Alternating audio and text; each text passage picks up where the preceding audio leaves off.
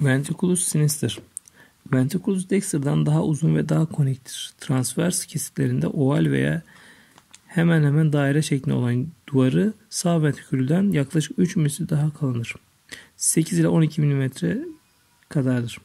Ventriculus sinister kalbin fascia sternocostalis bir bölümü ile sol tarafını oluşturur ve sol akciğerin fascias mediastinalis ile komşudur. İkisi arasında pleura mediastinalis perikardiyum ile sol tarafında nervus phrenicus ve arteria ve vena perikardia cornearicaları bulunur.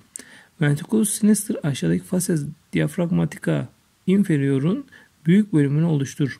Önde ve sağ tarafta ventriculus dexter'dan septum interventriculare aracılığı ile ayrılmıştır. Ventriculus sinister'ın iç yüzü. Ostium atrioventriculare sinistrum. Sağ tarafındakinden biraz daha küçüktür ve ancak iki parmak ucunun girebileceği kadar genişliktedir. Yaklaşık 3 cm. Annus fibrosus sinister denilen fibroz bir halka ile çevrilidir. Bu delikte bulunan ikili kapakçıya valva atrioventricular sinistra, valva mitralis denir. Cuspis anterior ve cuspis posterior denilen bu kapakçıklar annus fibrosus sinister'dan başlar ve sol ventriküle doğru uzanırlar. Bu kapakçıklardan önceki daha büyük olup ostium aorticum'a yakın olarak bulunur. Bu ana kapakçıkların arasında bazen cuspides commissuralis denilen küçük kapakçıklar da bulunabilir. Chorda tendinealar sağ taraftakinden daha kalın kuvvetli fakat daha az sayıdadır. Trabecula carneae sağ ventriküldekilere benzerler. Fakat özellikle tepe kısmı ile arka duvarda daha çok sayıda ve sık olarak bulunurlar. İki adet muscus papillaris bulunur. Bunlar da sağ taraftakinden daha kalındır. Bunlardan ön duvardakine muscus papillaris anterior, arka duvardakine ise muscus papillaris posterior denilir. Her bir muscus papillaris'ten çıkan korda tendinalar her iki kapakçığa da tutunurlar. Ostium aortae Ostium atrioventricularis sinistrum'un ön sağ tarafında bulunan yuvarlak bir deliktir. Yaklaşık 2,5 cm çapında olan bu delikte valva aorta denilen 3 adet seminüler kapakçık bulunur. Ventriculus sinister'ın bu deliğe komşu olan bölümüne vestibulum aortae denilir. Bu bölümün yapısında bağ dokusu kas dokusundan daha çok oranda bulunur. Çapı 1.9 ila 2.25 cm, çevresi ise 6 ila 7 cm kadardır.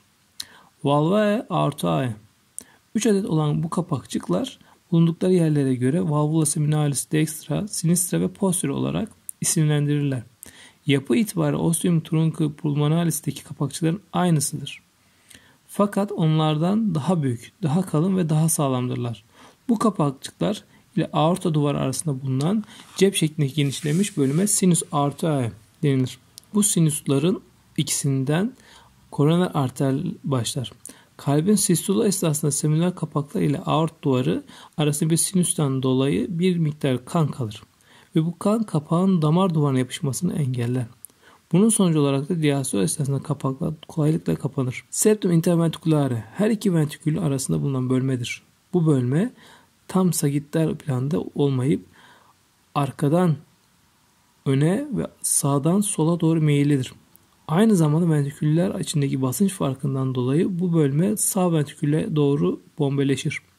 Bu nedenle kalbin eksenine dik olarak alınan kesitlerde sol ventrikül ovalimsi, sağ ventrikül ise yarım ay şeklinde görülür.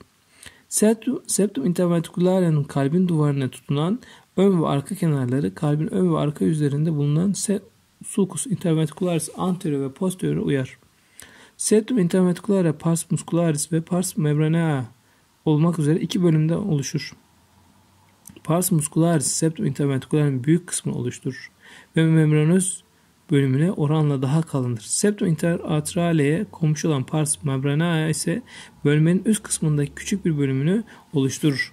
Pars membranae embriyolojik gelişim sürecinde kap- kapanan bir açıklık bulunur. Bu kapakçığın kapanması sonucunda burada erişkinlerde ventriküler septal defek olarak bilinen açıklık görülür. Sevgi ve bilgi paylaştıkça çoğalır. Perfüzyonla ilgili çekilmesini istediğiniz videolar varsa arkadaşlar bildirmeniz yeterli olacaktır.